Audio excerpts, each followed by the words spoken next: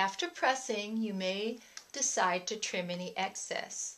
I'm going to trim this on an angle.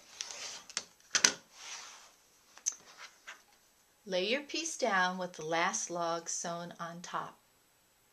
Pick up your next log in the same color family, lay it to the right,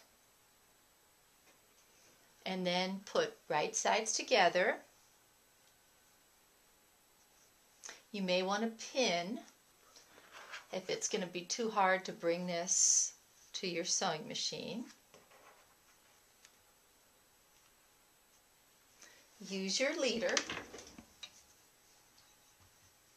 to begin sewing your quarter inch.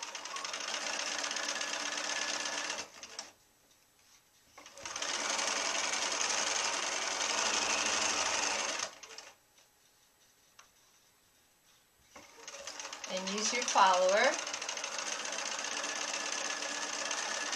to end the seam. Take this to your pressing board set the seam first. I prefer to use a hot dry iron.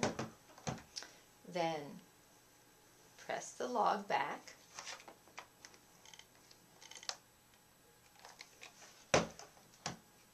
Now we're ready to go back to the cutting board and trim off any excess.